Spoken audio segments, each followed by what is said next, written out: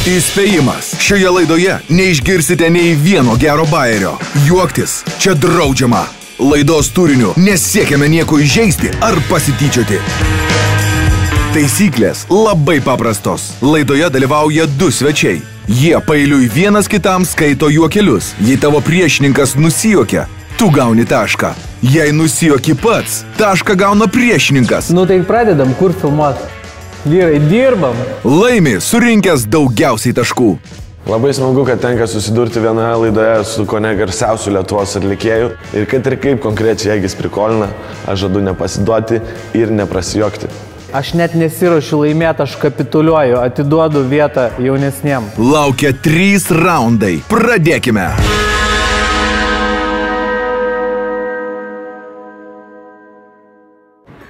Įkvėptas rytų ir sukurtas mokslo. Toks yra naujasis Asun inhalatorius. Vieni iš jų yra skirti susikaupti, o kiti kaip tik atsipalaiduoti ir užmigti greičiau. Aš mėgstu šį raudoną, jis yra su vitaminu B12 ir tinka net po sporto. Iš viso turi 500 patraukimų, todėl užtenka tikrai ilgam. Dar turiu tokį žalę, kuris skirtas yra susikoncentruoti ir be jokios abejonės lavanda.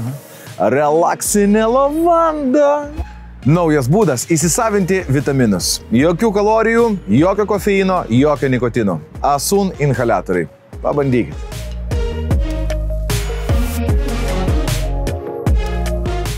Lošimo automatai, ruletė, kortų lošimai, lošimo automatai, ruletė, kortų lošimai, lošimo automatai, ruletė, kortų lošimai. Bet safe. Dalyvavimas azartiniuose lošimuose gali sukelti priklausomybę. Pirmasis raundas. Mediniai bairiai. Nu, aš pradėsiu pirmas. Davai. Kaip tu galvoji, kaip vadinasi Stano, jei jis gyvena Vidurio Azijoje? Iš Kazakstano. Iš kur žino? Jo, nu. Prie ko prieina prisirūkę mokslininkai? Prie hašišvadų. Kuriame Vilniaus rajone yra geriausia tvarkyti santakis? Antakalnyje.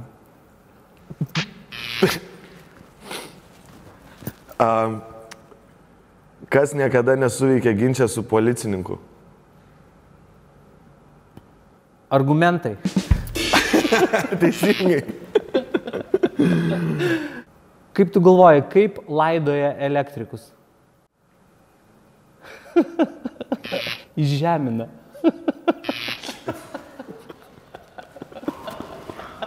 Eik tu. Gerai, šitas toks tropiškesnis bus. Ką čia, kaip vadintųsi man tas karleris, jeigu gyventų tropikuose? Kotletas.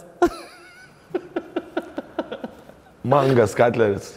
Kas toksai? Mangas katleris. Mangas katleris, ok. Iškeptas kotletas, ble.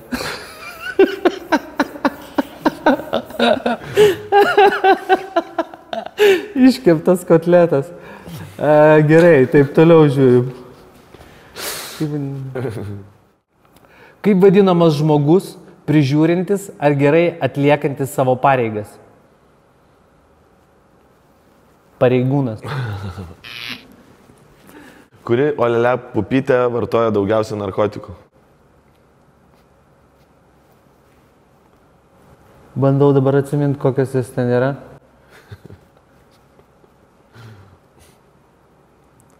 Palauk, lagina biški suka. Pikul ir kas ir... Karočią, koksana pikul. Koksana, ok. Gerai, važiuojam toliau, žiūriu toliau. Breve, čia tai giliai išmastyta vis dėlto. Kodėl Veryga nevaikšto į kino teatrą? Nes jis jau šiandien matė premjerą. Kaip vadinasi žmogus, kuris yra surinkęs visą grožį į vieną vietą? Koncentratas. Wow!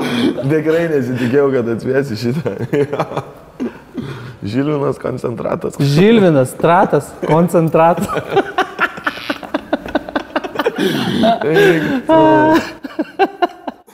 U, neraudonuot, neraudonuot. Kaip vadinasi policininkas, kuris nesiplauna rankų?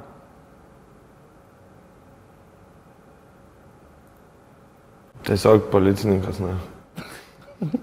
Purvintas policininkas. Ne, jis vadinasi, žinai kaip. Mikrobo kopas.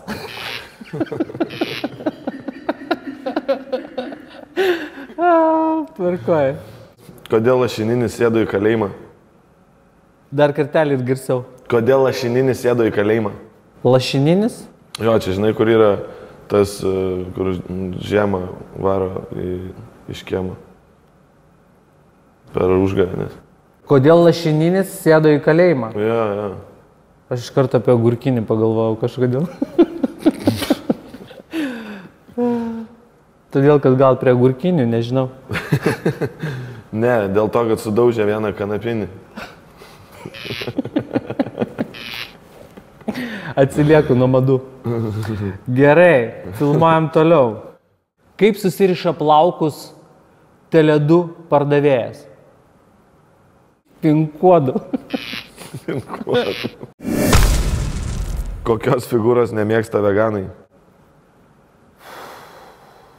Kokios figūros? Nu, Mėsinio bibio. Stačia kumpė, čia sako. Kažkas panašaus.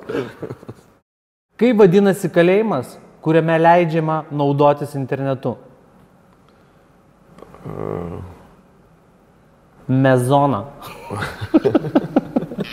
Kaip vadinasi daktaras, kuris daug kikena?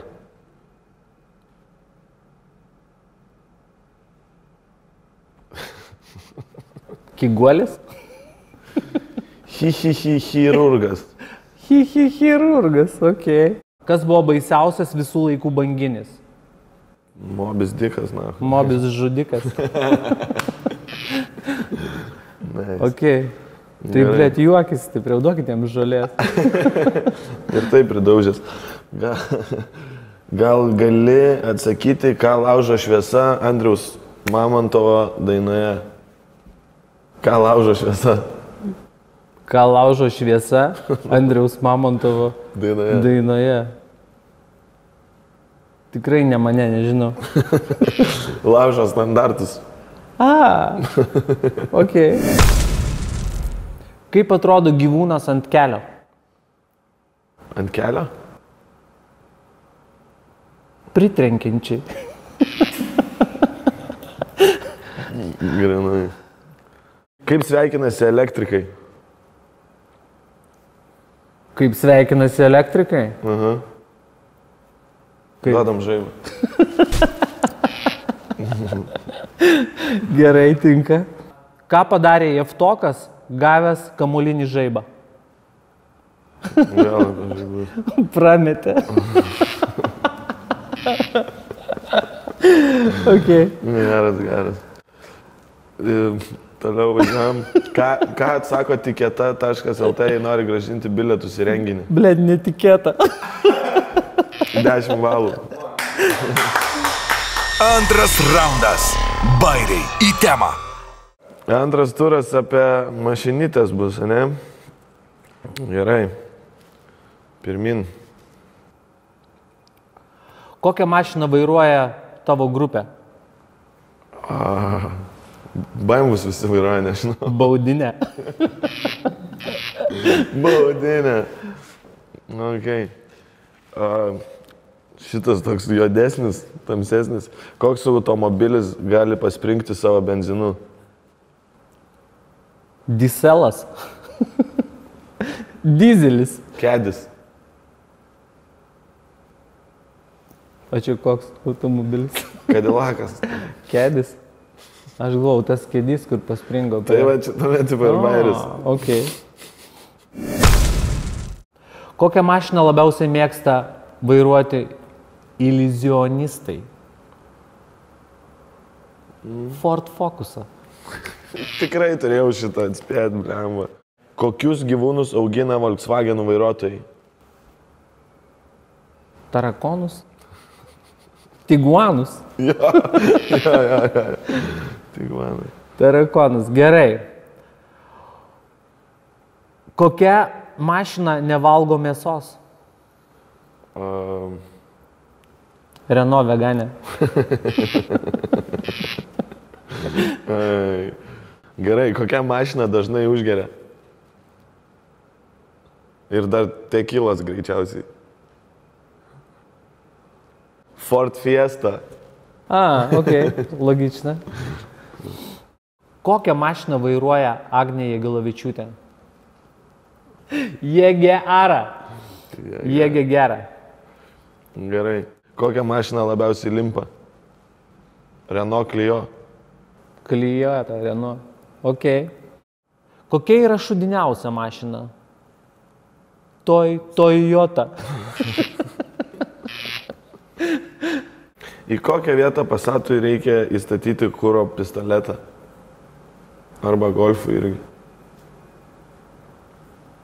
Pistilėta. Į Volkswageną.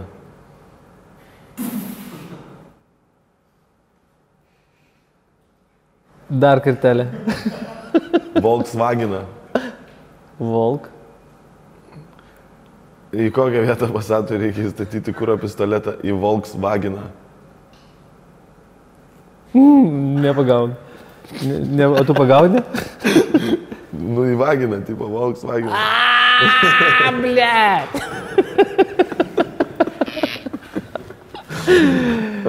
Į kokį kurą, į blėt vaginą, į jobą, Volkswageną, fuck na. Į vaginą, Volkswageną, blė. Dabar aš žinau, kaip šitą mašiną vadinsiu. Volkswageną, blė. A, blė. Ok. Važiuojam, ga, spaudžiam gazą. Kokį automobilį gali nusipirkti Lidle? Uh, Saba, blė. kokį? Saba.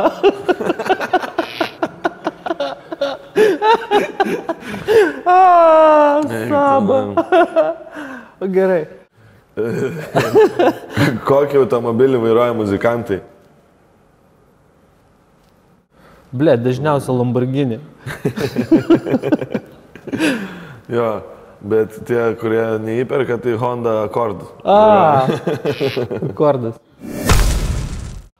Kokį automobilį vairuoja bandelių kepėjai? A? Tešla.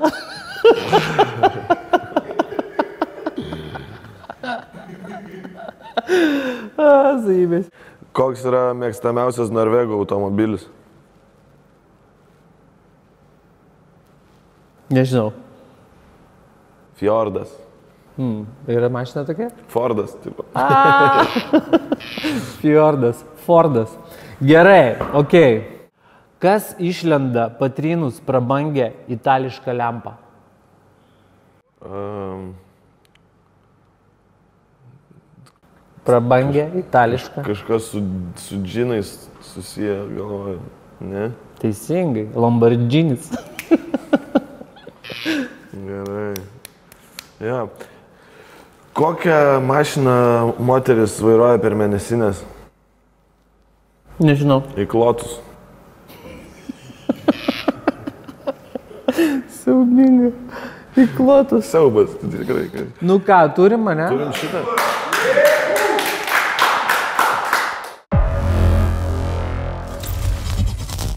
Jau kitoje laidoje Martinas Starkus ir Vytaras Radzevičius. Spėk, kuris nugalės ir laimėk Bet Safe Jumperį. Trečiasis raundas. Pačirškinam. Davai. Lasdavosim vienas kitą. Nu, nežinau, nežinau, nu, nežinau, kaip čia dabar nenoriu čia įžeis nieko reiškia. Durk tiesiog ir viskas. Vaikystėje Remis norėjo būti futbolininku, tačiau supratęs, kad e, profesinė karjera per toli, futbolą paliko. Laukiu, kol jis tai padarys ir muzikoje. Nebus taip. Sen čia, blėt, ne, ne.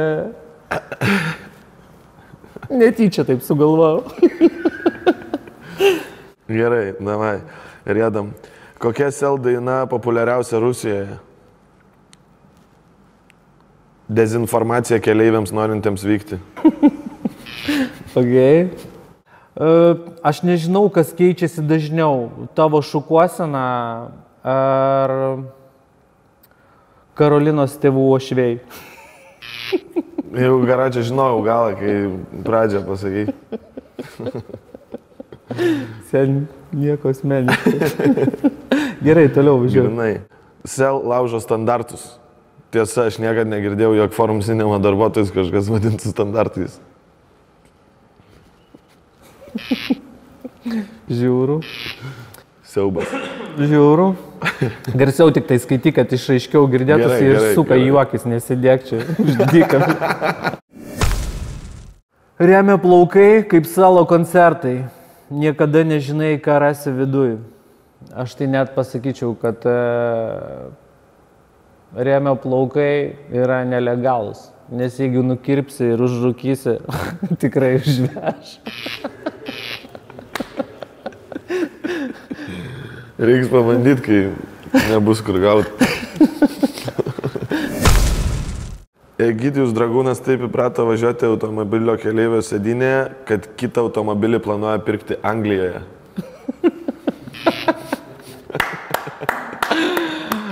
Bravo, bravo, bravo. Šitas tikrai neblogas, neblogas. Tai va, žiūrėk, pilna salė ošiančių gerbėjų. Didžiausia šalies scena. Prabangiausios instaliacijos, kokybiškas garsas. Ir visą tai patyrė FSG fanai, kol apšildė mane. Egidijus Dragūnas jau tiek kartų laikėsi teisės, jog vienintelis turi regitros nuolaidų kortelę. Kas tiesa, tas nemelas. Kokią eilutę turėtų panaudoti Remi savo dainoje? Nuo kablio iki žalgerio arenos neturim mamos statulėlės, mes nei vienas. Irgi kas tiesa, tas nemelas. Gerai. Kodėl, kodėl koronavirusas nepagavo selo? Nes jis pabėgo iš įvykio vietos.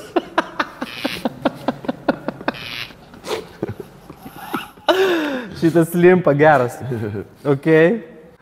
Jei parašyčiau dainą apie FSG muziką, jį vadintųsi Uždengiu ausis. Ir užmerkiu akis. Gerai, važiuojam toliau apie tavo teisės. Daug kas klausia, kodėl Egidijus daro tiek daug atsisveikinimo koncertų. Tų koncertų tiek daug, nes jis atsisveikina ne su klausytojais, o su savo teisėm.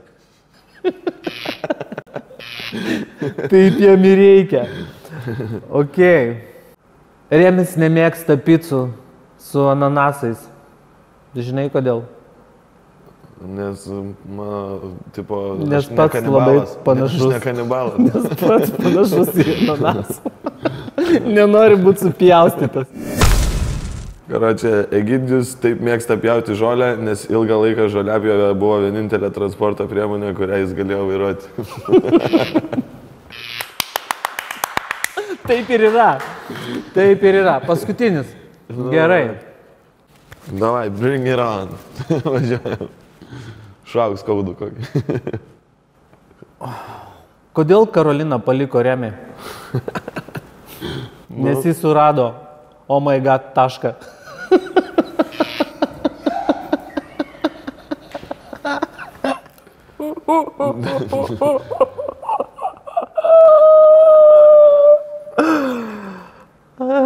Kas yra maiga taškas?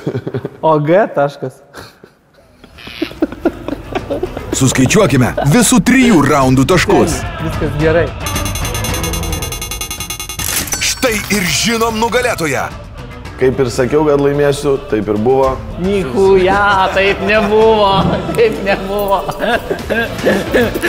Taip nebuvo, taip nebuvo. O jeigu tu turi dar prastesnių bairių, rašyk juos komentaruose ir geriausi bus apdovanoti. Be bairio.